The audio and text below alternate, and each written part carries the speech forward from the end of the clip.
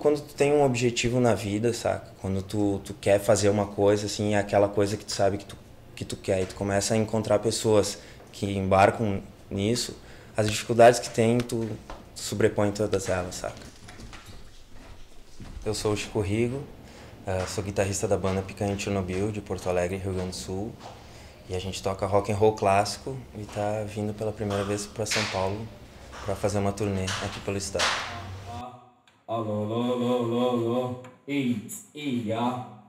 Tá sendo muito importante, tá sendo um aprendizado, né? Porque a gente já tá circulando e tocando pelo Rio Grande do Sul, então já tem já tem uma galera que curte a banda e que já vai no show e, e, e tem essa receptividade do público e a gente está chegando aqui para uma galera que nunca ouviu falar. Então a gente tem que, né, tá suando a camiseta todo show, assim, sabe? Sou Marcelo, toco baixo na banda Os Vespas. É, a gente tá, tomou esse caminho independente porque a gente está vendo que, que é um caminho que, que a gente se, se identifica bastante, assim, sabe? Que não tem aquela pressão, acho, de a gente ter que fazer a música de uma tal forma e não do jeito que a gente quer.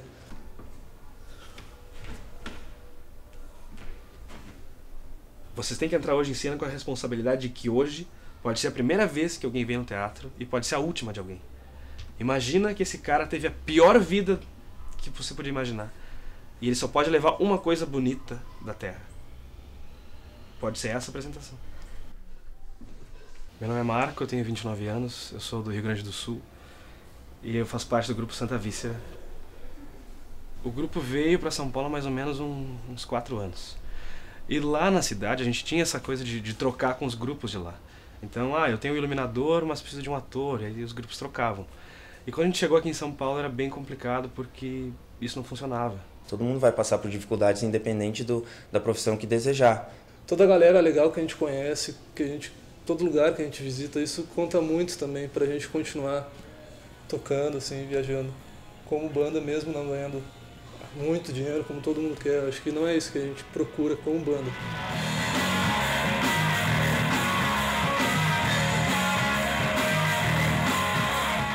Desde o momento que tu pega o instrumento pela primeira vez e se apaixona, ou tu ouve algum, alguém tocando e tu se apaixona pela música, que tu quer aprender, ah, como é que faz isso? Tem um, um cara que é o Eugênio Barba, um italiano.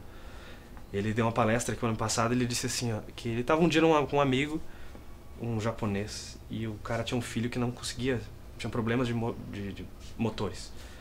E ele levava o menino no mar e botava ele na água, e ele ficava lá se debatendo, debatendo, debatendo, tirava a cabeça para fora, respirava e afundava de novo. E ele disse: Você não vai pegar ele lá? E ele disse: Não, ele quer aquilo ali.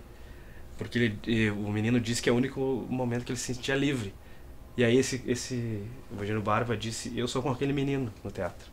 Eu me debato, me debato, é difícil, mas eu preciso dele, porque quando eu respiro lá em cima, é uma coisa nova. Assim.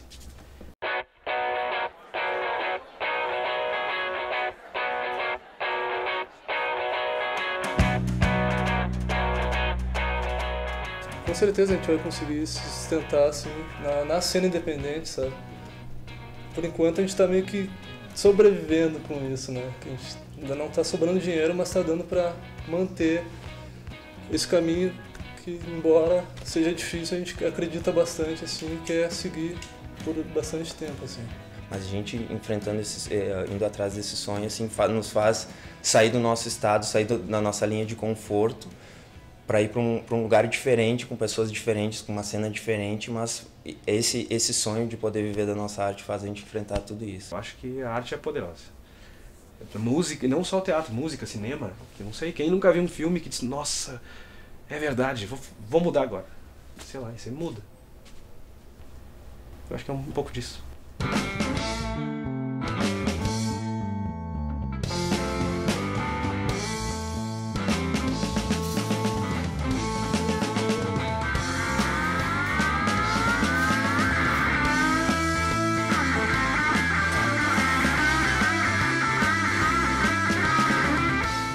Então, uh, bah, esqueci a pergunta, cara. Puta que pariu.